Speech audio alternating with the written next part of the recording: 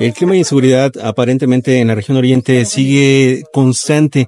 Eh, ¿Han estado teniendo reforzamientos? Eh, ¿Van a hacer algún tipo de operativo para que se pueda garantizar la seguridad en las colonias y principalmente aquellos que han, sido extorsionados todavía en este momento? Ahorita tenemos el apoyo y de gran manera nos, nos beneficia la Guardia Nacional porque su personal lo, nos apoya para operativos, eh, máxima presencia, puntos de inspección. Yo sí le quiero hacer una petición a la ciudadanía que no esté renuente a los operativos. Es para un bien común, para un bien de todos. Eh, el hecho de que nosotros podamos inspeccionar vehículos, mucha gente tiene vehículos con reporte de robo y ni siquiera lo sabe porque los venden con facturas falsas. Ese es el tema de que muchas veces la gente no puede recuperar sus vehículos. Los facturan, los vuelven a vender y el reporte ya está vigente y ni siquiera lo saben. Y también invitar a la ciudadanía a que denuncie, a que si reciben algún tipo de extorsión, eh, acudan también a denunciar este tipo de delitos. Yo sé que es muy complicado el tema de la denuncia porque hay miedo, eh, muchas veces eh, es ese temor, ¿no? De que les llegue a pasar algo. Pero que tengan en cuenta que mientras no haya una denuncia es algo que no vamos a poder combatir.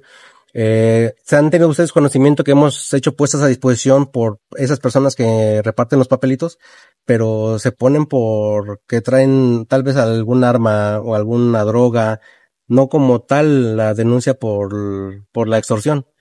Eh, sí es muy importante y yo siento que es lo esencial, la denuncia sí les pido de alguna manera un, el voto de confianza hacia la seguridad pública.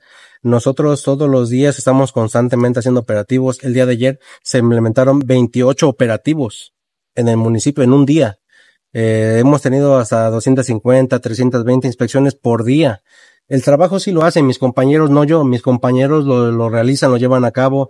Se han recuperado vehículos, se han hecho puestas a disposición, se han asegurado armas, entonces, yo sé que es muy complicado, pero es necesaria eh, la ciudadanía o el apoyo de la ciudadanía y el trabajo en conjunto con las instituciones que lo estamos haciendo.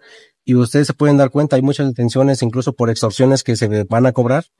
Son de fiscalía, pero al fin y al cabo es en bien es para un bien común, que es para un bien para todo el municipio, para todo el estado. ¿Tiene reporte de que se hayan acercado con ustedes eh, aquellos transportistas que han recibido algún tipo de amenaza? En algún momento nosotros estuvimos trabajando con las rutas que vienen de, desde Yecapixtla, del área norte. Sí.